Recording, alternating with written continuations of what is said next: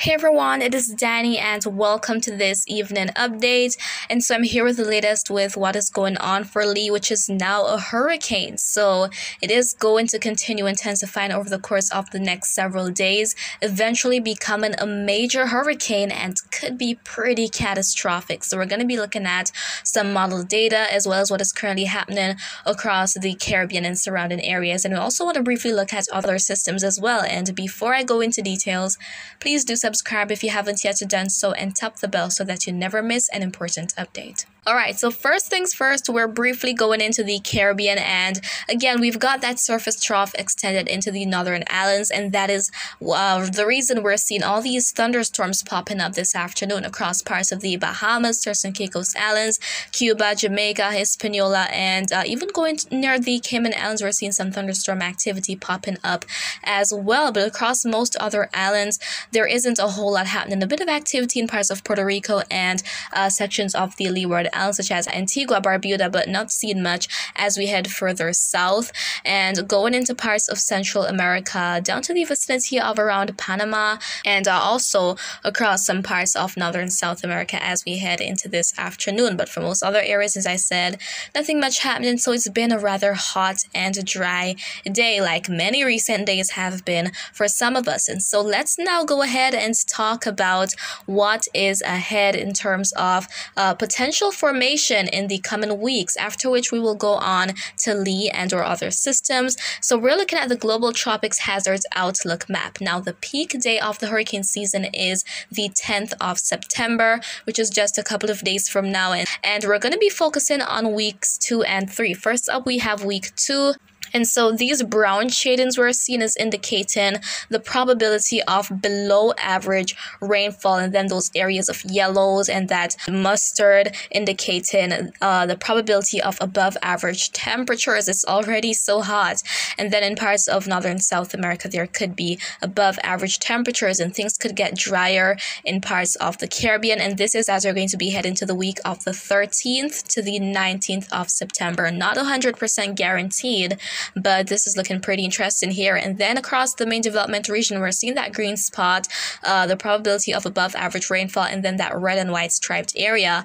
Tropical cyclone development, and many models have been hinting at seeing something else as we're going to be heading into the latter parts of next week. So we definitely want to keep our eyes on the main development region. It is pretty active out there and will remain that way for some time. And then as we head to week three now, we're seeing somewhat of the same picture for the main development region. So we will have these tropical waves continuously moving off Africa, and conditions will be conducive enough to allow for development. So a lot more storms are probably on the horizon.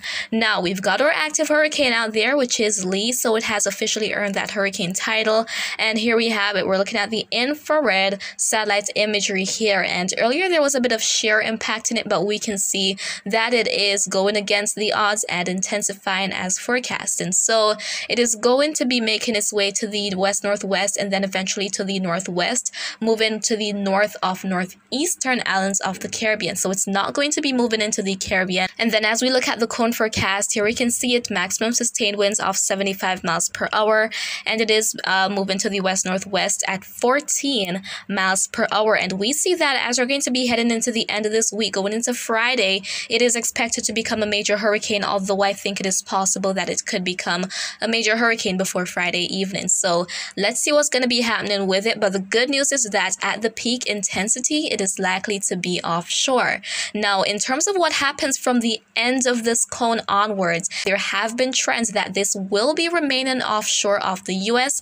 I keep getting the questions from you guys, so it is likely that this is going to be remaining offshore.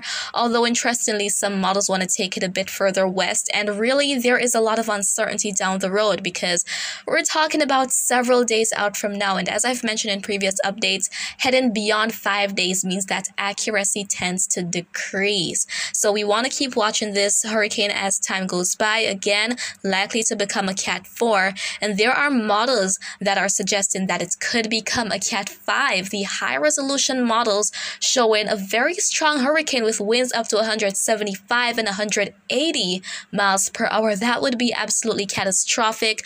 But uh, thankfully, it should remain offshore. However, if you're in Bermuda, you want to keep watch because this could move by very closely as a very strong hurricane, a Cat 4 hurricane. So if you're in Bermuda, you want to watch for next week. And I'm, I'm going to be keeping you guys posted, of course.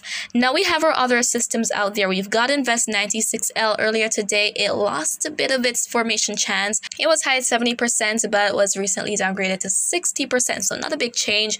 And eventually models are expecting that it will become a tropical storm and it will be moving generally to the northwest. And while moving by, it could induce some uh, shower and thunderstorm activity across the Cabo Verde Islands. And then up there, we've got what is left of Franklin that might try to regenerate offshore of Europe. So let's see what's going to be happening with that system up there.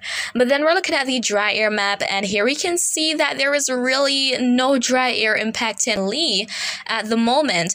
But out ahead of it, we do see that we've got some dry air moving across parts of the Caribbean, and where we have a lot of dry air is where we typically find more stable atmospheric conditions. So typically not a whole lot of showers and thunderstorms happening within those spots. So across parts of the Caribbean, as we saw, especially Eastern Islands, there hasn't been a whole lot going on this afternoon. But we've got Lee out there. It is on its way to becoming a major hurricane and could potentially become a Category 5 monster. Fortunately, not going to be moving into anywhere, at least that is not expected as of right now.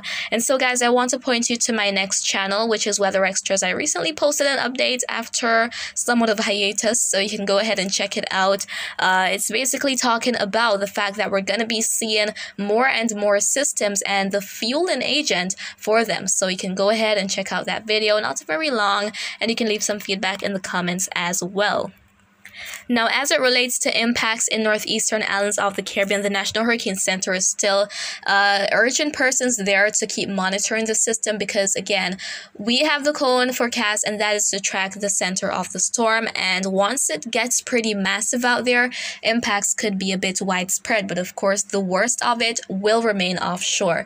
So we could see some of the rain bands move in and induce some inclement weather, some periodic showers here and there, and gusty winds at times and also the swells that Lee will be generating could cause life-threatening surf and rip current conditions. So if you're planning to go to the beach as we head into this weekend, it's not going to be a very good time out there because there's going to be a major hurricane offshore. So please exercise caution, guys. And I'll be keeping you posted on all that is happening with Lee as time goes by. So again, there can be changes and what is to happen for the long term remains unclear because there are uncertainties down the road. There are many possibilities possibilities on the table, but generally, models have been keeping this offshore of North America. This could potentially affect Atlantic Canada. We don't know as yet. As we head into this weekend and early next week, there should be a pretty good picture of what is up ahead.